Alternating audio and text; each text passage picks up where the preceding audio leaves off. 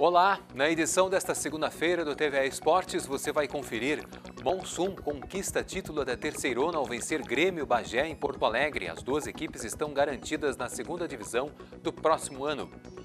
Inter perde para Corinthians e fica com o vice-campeonato brasileiro feminino. Clubes vão representar o país na Libertadores de 2023. E ainda a CBF vence, vence Marreco e garante a vaga na próxima fase da Liga Nacional de Futsal. O Atlântico joga esta noite contra Santo André.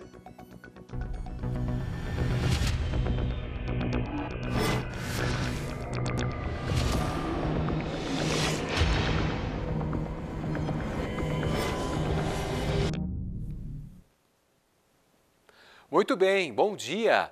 E a gente começa o primeiro TV Esportes da semana falando da decisão da Terceirona Gaúcha, com transmissão aqui da TVE. Para o Monsum, time da Zona Sul da capital foi chegar, ver e vencer.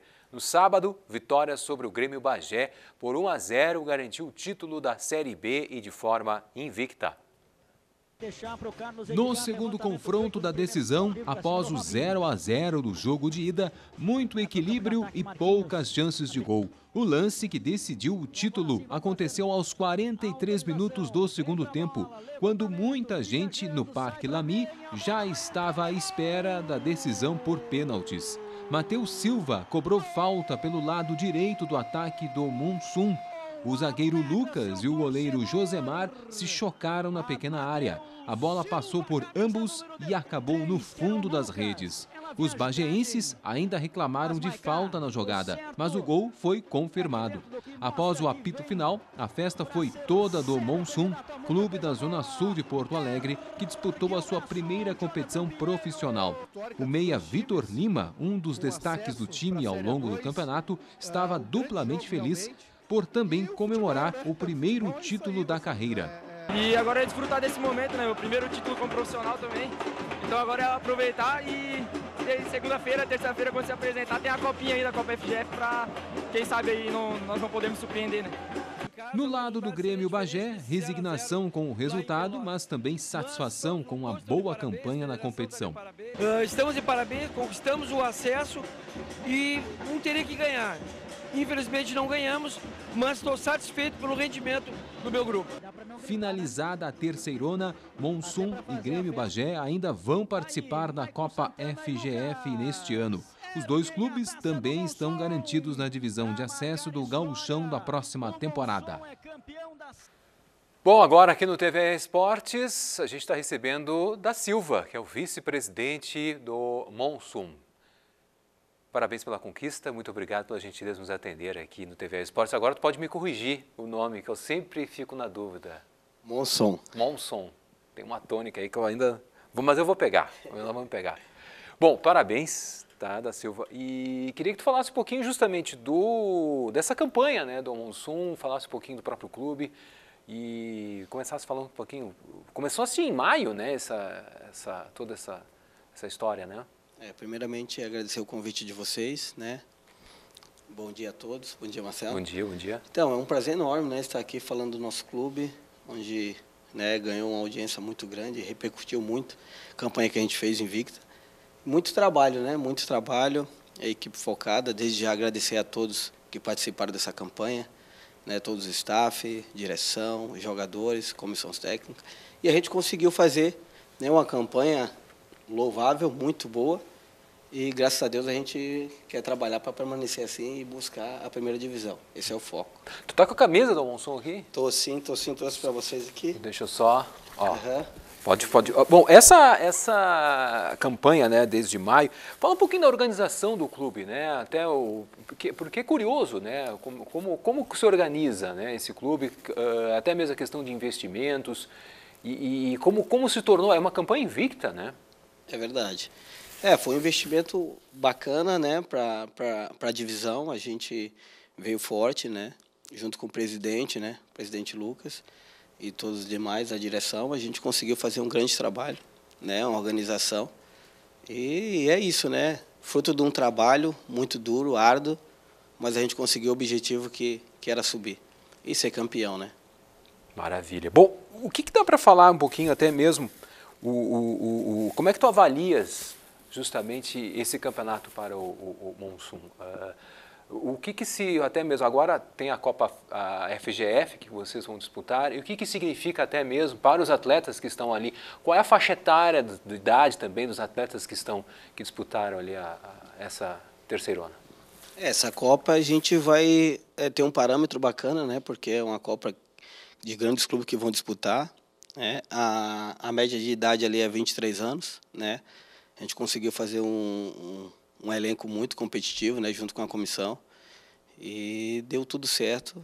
Agora é focar nessa Copa mesmo. A gente já joga contra o Guarani de Venâncio, né?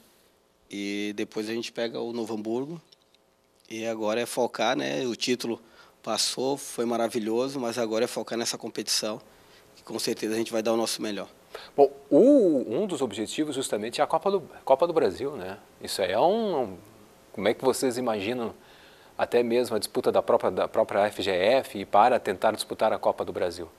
É, a gente veio para isso, né? A gente veio para fazer diferente, né? Para fazer um, uma competição bacana. A gente sabe que é, é outra competição, né? Outro nível de competição, mas a gente está preparado. A gente tem uma equipe capacitada para isso, para brigar. A gente vai para brigar a competição e se for coroado com essa Copa do Brasil, seria interessante para a gente. Bom, a questão de categorias, a questão de estrutura mesmo, vocês uh, são, têm categorias de base, sub-15, sub-17 e até mesmo de treinamentos. Como, é, como funciona justamente a estrutura do, do, do Monsun, pessoal ter uma ideia? É, hoje a gente está com a categoria sub-17, a 20 e o profissional, né? A 15 a gente pretende abrir para o ano que vem agora, para disputar o galchão. Né? Acredito eu que ano que vem a gente já deve estar tá na tá São Paulo da Sub-20, que é o que a gente quer. E a gente agora vai focar nessa Copa, né? Tem mais duas competições para base agora nesse ano, que é a Sulicamp, e ano que vem todos no, na Federação Gaúcha, né? Campeonato Legal. Gaúcho. Como é que funciona essa relação com, com o Dubai? Que é o, é o principal investidor, né? É o investidor da, da equipe, né? Como, explica um pouquinho até mesmo como, como funciona essa, essa é, relação. Então... O nome, o... inclusive, é em virtude desse sentido, né? É, de uma empresa que eles têm lá em Dubai, né? Era do melhor amigo do. O apelido Monson era o melhor amigo do Sumante. É, e eles resolveram colocar aqui, que significa tempestade, né? Vento forte. E ele trouxe para cá. Um nome totalmente diferente, né? Que todos perguntam. Mas tem dado frutos, né? Bacana. E, então o investimento, o investidor, Sumante, como eu falei, ele é um indiano. Né? Eles não vivem no Brasil, eles vivem em Miami. E eu que fico responsável pelo clube aqui no, no Brasil, Rio Grande do Sul. No Rio Grande do Sul. Bom, o, o, investimento é o investimento principal ou tem outros investidores também? Não, ele é o investimento principal. Uhum, muito bem. Bom, e, e, e, e, não, vamos dizer assim, não, não, não perdeu praticamente desde a fundação né, o, o, o time, né? Vamos dizer assim. É, não, a gente não perdeu ainda, a gente não sabe que é derrota. Espero que continue assim, né? A gente sabe que futebol é derrota, empate e vitória, mas a gente vem trabalhando muito forte, né? O pensamento deles é totalmente diferente, não é a longo prazo, o pensamento deles é a curto prazo, a gente tem que dar o resultado. E a gente está dando resultado da melhor maneira possível, né? Graças a Deus tem saído tudo da maneira que a gente sempre desejou e sonhou. Bom, a questão de contratações, vocês já estão, já estão em até mesmo para a competição da, FG, da Federação, da FGF e até mesmo para o próximo ano. Como é que vocês estão se organizando nesse, nesse sentido? Vocês já estão contratando, já estão pensando nisso, já, já estão de olho? Como é que funciona? Sim, a gente estava esperando acabar essa competição, mas ao mesmo tempo a gente já estava trabalhando né, uhum. nas contratações. Já tem cinco, cinco atletas para chegar já essa semana agora. Cinco atletas? Cinco atletas já. Três vêm do Atlético Paranaense, né, emprestado, e dois a gente está buscando por, que jogou agora o estadual Série A. Isso, e atletas uh, de idades, são é, muito do, jovens, do Atlético Paranaense, atletas já com uma rodada já, rodaram para outro, por outros times? Do Qual Atlético é Paranaense é mais novo, né? Uhum. De 20 a 23 anos. Mas o, os dois que vão chegar, os outros já são mais experientes, de 29 a 30 anos. E a gente pretende já é, começar a encaixar o time nessa Copa, né, para que ano que vem a gente já entre mais forte na divisão. A gente sabe que é, que é outra divisão. É outra divisão. Mas a gente está preparado para isso, né? Eu fui uma das pessoas que já joguei todas as divisões aqui no Rio Grande do Sul. Então, isso ajuda, né? Muito bem. Da Silva, olha, parabéns aí pela, pela conquista e a gente espera ouvir mais vezes aí o, o Monsum para a gente conversar um pouco mais também sobre essa, essa é um time né, recém-criado, recém-fundado e que está já recolhendo colhendo frutos aí, tá bom? Muito obrigado pela gentileza e parabéns mais uma vez. Obrigado. Eu que agradeço a vocês por ter feito todo toda a competição, né? E ficou bacana. É, agradeço a todos os torcedores também que torceram pela gente. Como eu te falei, todos os diretores, toda a direção, é, comissão e jogadores. E vamos por mais agora. Show de bola. Obrigadão, man. Valeu. Não deu para as gurias do Inter na decisão do título do Campeonato Brasileiro. As corintianas dominaram a partida, golearam aí por 4 a 1 e comemoraram o tetracampeonato. O vice-campeonato é histórico. Pela primeira vez, um time gaúcho chegou à final do Brasileirão Feminino. Diante dos mais de 40 mil torcedores presentes na Arena Itaquera, as Brabas viraram o placar após saírem perdendo por 1 a 0. O Inter levou 500 mil reais de premiação e a vaga na Copa Libertadores de 2023. Sorriso abriu o placar para as gaúchas. O que parecia um bom sinal logo foi enterrado pelos ataques das corintianas. Jaqueline, Diane, Vicky Albuquerque e Jennifer marcaram para as donas da casa. Outro feito das finais depois do recorde de placar no Beira-Rio no sábado, uma nova marca, 41.070 pessoas, o maior público da história do futebol feminino brasileiro. No gauchão feminino, segunda rodada do hexagonal da segunda fase ficou marcada pela impiedosa goleada das gurias do Grêmio sobre o Oriente, 16 a 0. No complexo esportivo da Ubra, as meninas tricolores estrearam na competição com fome de gols. Foram quatro no primeiro tempo e mais doze na segunda etapa. Destaque para os hat-tricks de Luane e Laís Estevam. No próximo sábado, as gremistas voltam a entrar em campo, recebem as gurias do Elite no estádio Vieirão, em Gravataí. A outra partida da rodada foi mais equilibrada e emotiva. No final, deu Juventude por 3 a 2 na visita ao Flamengo de São Pedro. As Esmeraldas Caxienses entraram com todo o gás e já venciam por 2 a 0 antes dos 10 minutos de jogo. As gurias do Yucumã reduziram o placar ainda no primeiro tempo e chegaram ao empate na segunda etapa etapa, até que um gol de TT aos 45 minutos selou o triunfo do time visitante.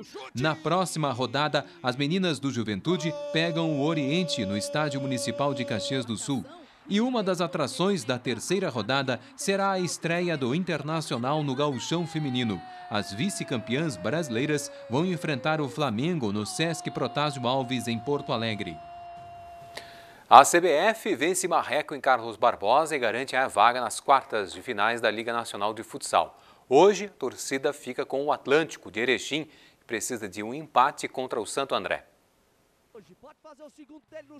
Depois da vitória em casa por 4 a 2 no primeiro jogo das oitavas de finais, o time gaúcho leva vantagem do empate. Em caso de derrota no tempo normal, a partida vai para a prorrogação. Daí, quem joga pelo empate é o Santo André, por ter melhor campanha na primeira fase. A partida inicia às 7 horas da noite em São Bernardo, interior paulista. Quem garantiu vaga nas quartas foi a ACBF, que jogou em Carlos Barbosa. Com o apoio de mais de 3 mil torcedores, o time da casa teve dificuldades para superar a forte marcação dos paranaenses. O gol só saiu aos 11 minutos da segunda etapa. Pedro Rei finalizou num chute cruzado. A bola desviou em Dixon, enganando o goleiro e fazendo um gol contra. No final, 1 a 0 e vaga garantida nas quartas de finais. A ACBF vai enfrentar a equipe do Jaraguá de Santa Catarina, que eliminou Joaçaba. As datas dos confrontos ainda não foram definidas. O Festival Paralímpico reuniu aí cerca de 15 mil crianças com e sem deficiências em 98 cidades de todo o país no último sábado. Essa foi a quarta e a maior edição do evento que acontece desde 2018. O evento quer difundir o movimento paralímpico por meio de práticas recreativas e lúdicas que simulam modalidades paralímpicas. Aqui em Porto Alegre, as atividades aconteceram no Parque Ramiro Souto, na Redenção, e no Grêmio Náutico União. A gente vai ficando por aqui. TV Esportes volta amanhã ao meio-dia. Até lá.